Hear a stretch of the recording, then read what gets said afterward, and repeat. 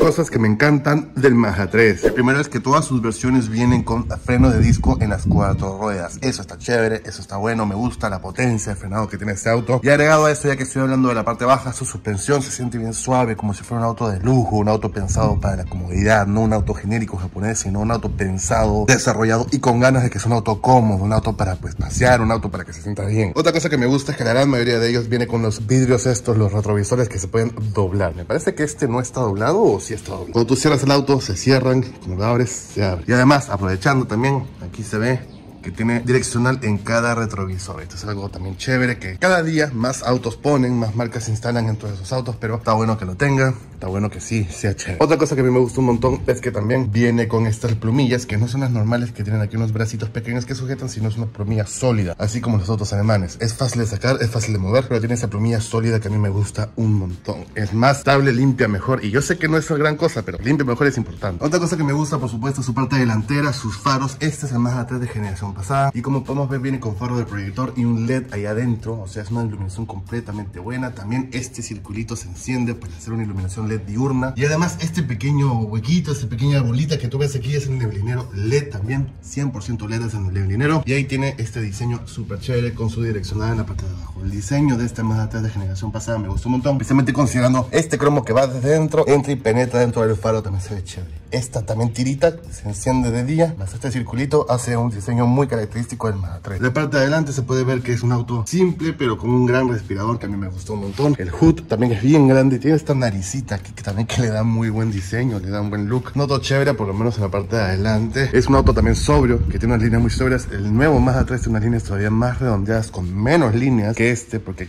aquí por lo menos podemos encontrar esta línea que va hasta atrás. Este es un hatchback, podemos encontrar esta otra línea, que se ve chévere, me gusta un montón. Luego pasando todavía las puertas, encontramos que este también tiene un botoncillo ahí que se abre y se cierra. Bastante está bueno, me gusta un montón como se ve. Me gusta lo que tiene. Encontramos también aquí en la parte trasera una puertita que además tiene este pequeño vidrio bastante marcado. Yo también lo tengo por aquí, se nota un poquito más. A pesar de ser un hatchback, no sé por qué lo hacen, no sé por qué ponen ese vidrio si no ponen todo un vidrio completo. No sé por qué no ponen el vidrio ya completo y simplemente baja todo, sería algo espectacular. Pero como que dejan esta parte que no se puede mover. Ustedes en la caja de comentarios explíquenme por qué es que no se puede mover, por qué es que instalan este pilar y además este vidrio estático, por qué es que lo hacen, por qué no se baja todo y ya. Le da una experiencia muy buena, no solamente en este auto, sino en muchos otros. También puedo ver aquí el freno de disco trasero que incluye en todas las versiones del Mazda 3 de esta generación y de la siguiente que le vino. Bien interesante, un auto bonito. Este modelo en particular incluye sunroof, bastante bueno, también bastante buen espacio. Ahí podemos ver mi mano, son por lo menos dos, mi mano y medio. Algo grandecito, también bastante largo. Y una de las características pues también de diseño icónicas de Mazda 3 es su colita de tiburón que la tiene en esta versión. En la versión también más moderna, en todas las versiones mejores, malas equipadas, buenas equipadas, todos los tiene. Llegamos un poquito más atrás y encontramos ese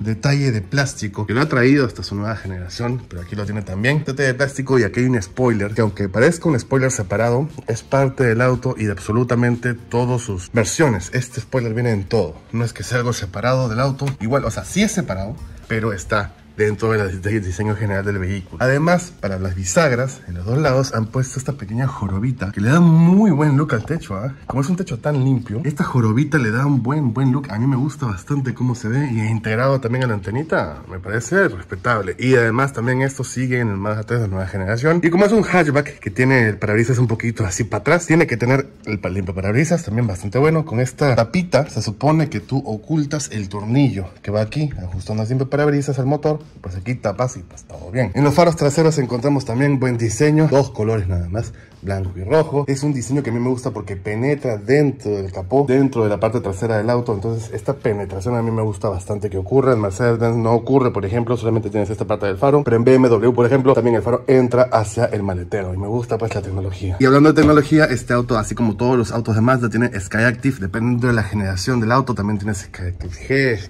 Active todo lo que puedas imaginar. Es un auto bonito con un gran espacio en el baletero, como podemos ver aquí la gran joroba que tiene atrás, súper chévere, súper grande, súper interesante, me gusta cómo ha quedado. Los pequeños reflectores en la parte de abajo, justo también para que haya un poquito más de iluminación. Y doble tubo de escape, una cosa característica enorme de Mazda, que está agregando doble tubo de escape a. Y pues a mí me gusta un montón cómo se ve, tiene una tercera luz de freno, me olvidé de mencionar también en tecnología 100% LED. Noto bonito, noto que a mí me gustó un montón. Aquí está su tapa de combustible a lo izquierdo, recuerden, al lado del piloto por lo menos en este modelo, está aquí a la izquierda. Es un auto además también que a mí me gusta por su color. El color negro le va muy bien al Mazda 3. Tiene aquí estas inserciones de cromo bastante chéveres. En el interior podemos encontrar también bastante espacio, un auto bonito, un auto bien diseñado con pantallita. Y para mí está bueno. Es un auto que no trata de ser un auto de lujo, todos lo sabemos. Un auto que no trata de ser un auto pues especial así, a que digas, wow, mira qué especial este auto. Este auto es generalista, recuerden siempre, es un vehículo generalista al 100%, pero también considerando pues una gama de autos que ellos quieren implantar. Es la gama de autos interesantes, es la gama de autos de lujo, barato, económico, porque sí, evidentemente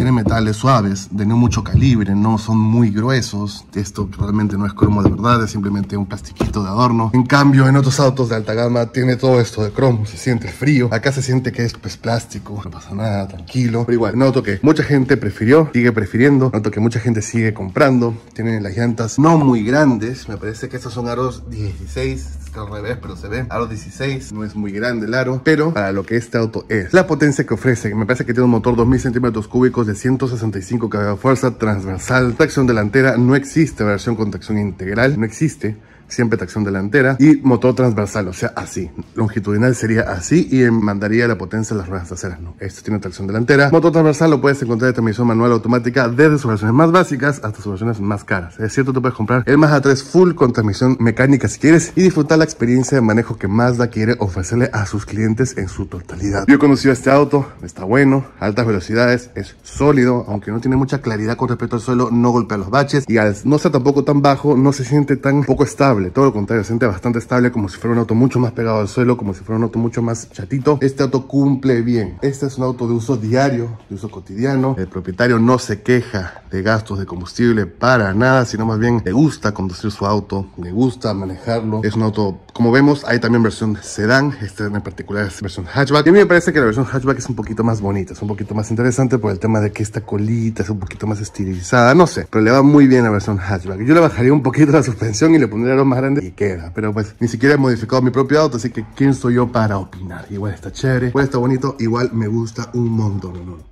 Por favor, síganme en mis redes sociales oficiales, Instagram, Facebook y TikTok. Aquí abajo encontrarás un link directo para que me puedas seguir. Gracias. Por favor, síganme en mis redes sociales oficiales, Instagram, Facebook y TikTok. Aquí abajo encontrarás un link directo para que me puedas seguir. Gracias. Thank you.